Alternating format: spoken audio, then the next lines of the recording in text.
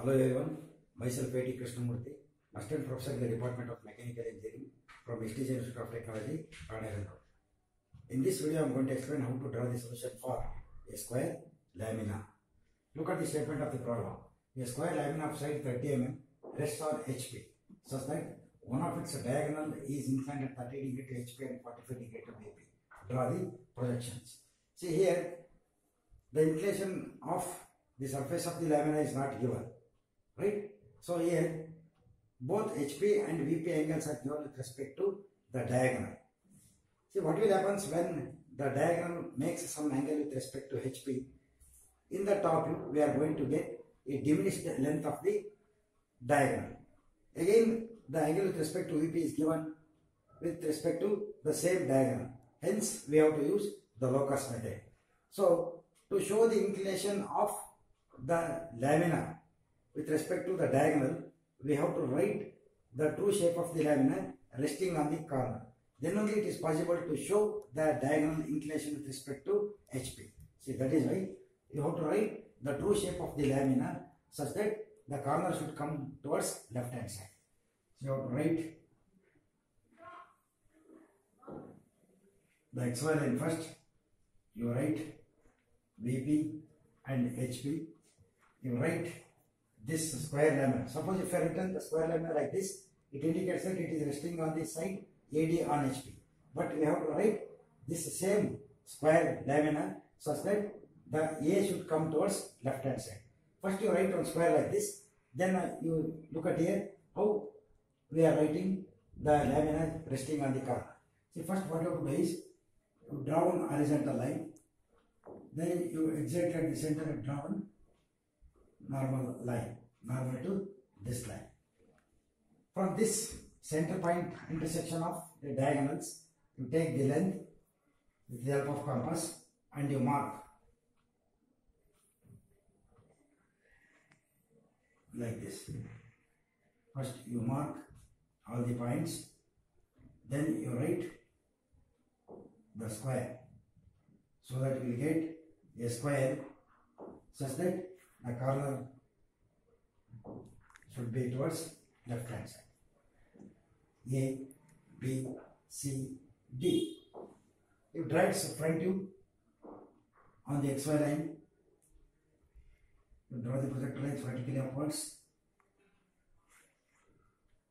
From all the corner points of this square line, you name it as A dash, B dash, inside D dash. This is C dash. Then you make dark this line. In the second step, you mark a point towards right hand side of the problem. You take the angle given with respect to HP. It is 30 degree.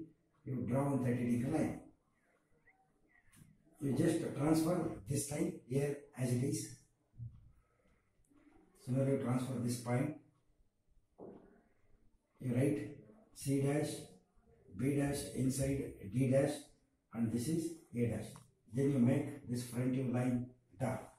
Then you draw the top view.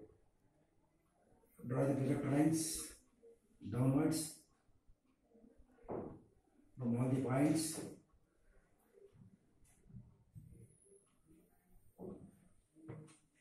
Right. Similarly, you draw the projector lines from this top view and you mark all the points. This is point A, B, C and this is D. You join all the points. In the next step, you take the angle given with respect to VP. The angle given with respect to VP is 45 degree. You draw a 45 degree line. You draw a 45 degree line. See again, you have to show the line AC, the line AC on this line. Since here the angles are given with respect to the diagonal, you have to use the locus method here. So how to write the locus method? Look at here. First you mark one point on this 45 degree line. You take this diagonal length AC, original length you have to take from the first position, first top view, and you mark here. So this is the point A, this is the point C. At point C, you draw a locus line parallel to the XY line. You draw a locus line parallel to the XY line. Next, you have to take, so I am calling this as original length AC1, that is AC1 is the original diagonal length. Next you have to take this AC, second top view diagonal length. You take the this length with the help of compass and you cut this line. You cut this line. You call this as the point C.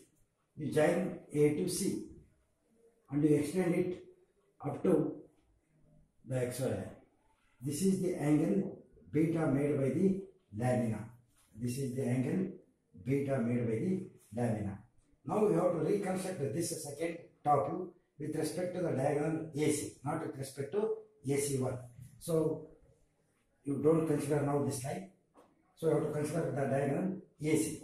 You observe here the diagonal AC okay is exactly perpendicular to the diagonal BD. See that is why first you mark the center point of this AC. You draw a line at this center point exactly at 90 degree. This should be 90 degree. Okay. Next from this center point, you take this length from center point to D and center point to B. They remains the same. You take this length and you mark here this side and this side. So this is the point B and this is the point D. You join A to B, B to C, C to D and A to D. Okay, this is how we are constructing the second topic by using the locus method. Next, as usual, you draw the front view. You draw the projector lines vertically upwards. This is the point A dash, point B here.